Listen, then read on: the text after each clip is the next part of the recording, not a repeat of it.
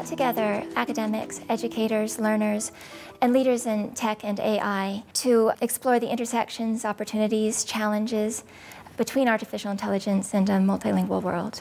One thing that just absolutely delighted me was how well everyone got on together and how well we understood each other.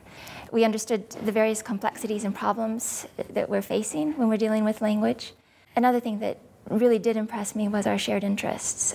We feel that really the research in this area is very much at the beginning and that it's most important to um, include questions such as benefits to creativity, benefits to identity formation, identity expression in the whole field of AI in languages. We feel that this is something that is central to our mission in creative multilingualism and that this conference will give us some very important ways of exploring what is relevant for further research.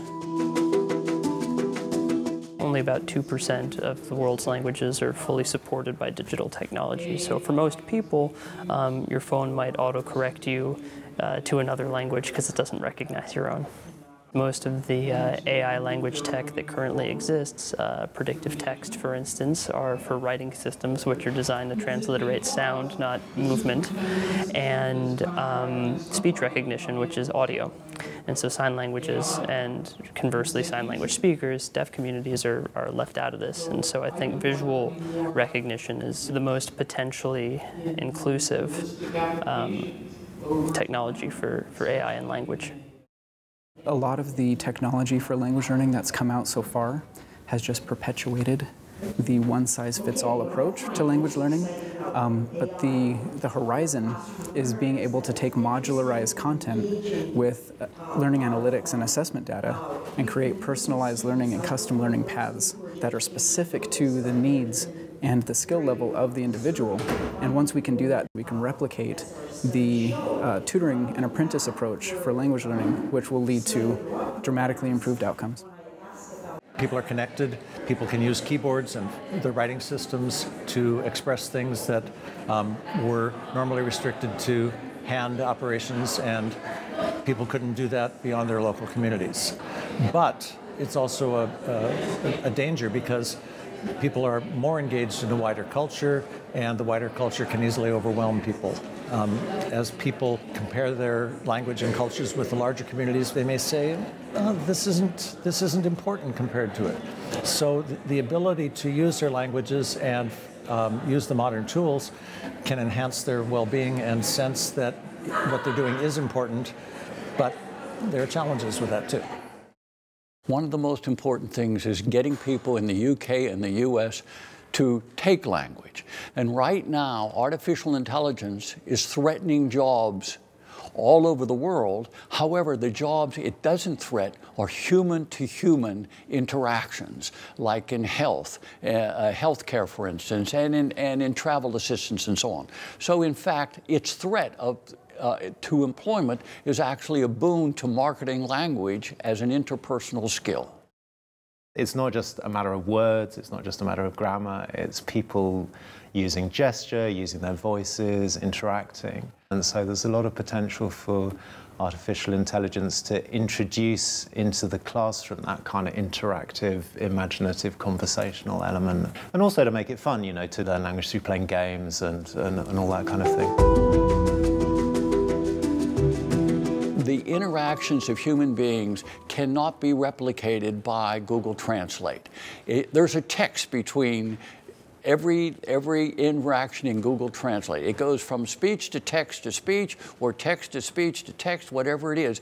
But the human interaction, if you learn a language, you talk to a human being, you understand the emotions of a human being, and, and you get the whole context and so on, which AI can't do translating web pages, documents, you know, sure, you can get the gist of the meaning. Again, that's what machine can do. And as a human person, you get to focus on the fun of learning language.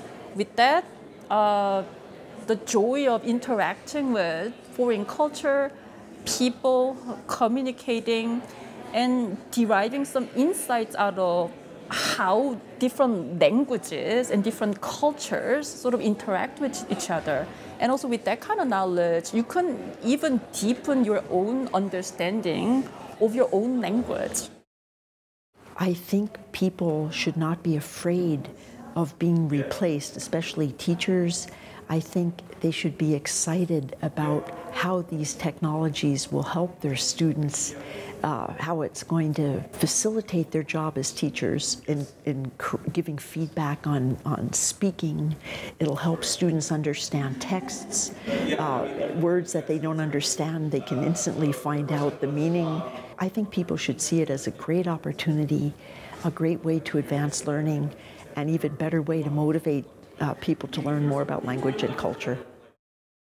As a prime example of artificial intelligence, uh, a few years ago I had an encounter with a self-driving car myself, where I made a Pittsburgh left in front of one. And a Pittsburgh left means you make a left in front of oncoming traffic as soon as the light uh, becomes green. And I asked myself a question, what if I stopped? And what would have happened? Because obviously self-driving car knows the rules of the road, and one of them is when you see an object, you stop. Would be in a standoff all day. And that makes me think about you know, the fact that th there are limitations. I think, for, for example, self-driving cars know very well the rules of the road. But then what about the language of driving? The language of driving in Pittsburgh, the language of driving in Morocco, the social aspect of driving, which is very complex. The, the waving, the smiling, uh, people waving you in, and, and all of that, all, all of those things. One interesting task we've used within the project that I lead with, with learners in schools is showing them how Google Translate works with particular aspects of a language, so in this case German, and looking at how Google Translate translates a certain term and then about what it really means and helping them to think about, okay, so Google Translate can't actually get to the heart of what this word means. Google Translate is useful, but it has quite a, a limited role. And I think the challenge for teachers is to understand that actually rather than telling learners, oh, no, don't use Google Translate. Their role is to show learners how they can use it in the best possible way to support their language learning. There are a lot of really good reasons to learn another language. It makes your brain stronger. You know, it's there's ample evidence now, a generation of research on the benefits of bilingualism, which are cognitive, educational um, benefits of bilingualism, career benefits of bilingualism. That sounds very instrumental, right? And, and at some point you want, if you've got a kid in college, you want that kid to take an instrumental view of the world and maybe figure out how to get a job. Um, learning a language will help you do that. But um, throughout one's life, it turns out that if, if you're a bilingual adult and you use your language at least once a week, the average age of the onset of the symptoms of dementia is delayed by about four years. And this has been confirmed and replicated in multiple studies. Now, the degree of bilingualism matters and how much you use it, and, you know, but, but overall, there are these benefits that nobody really foresaw in being bilingual. Not only do I, as a person, learn the language, I learn the culture, and I learn about myself uh, it changes how I function as a human being for the better.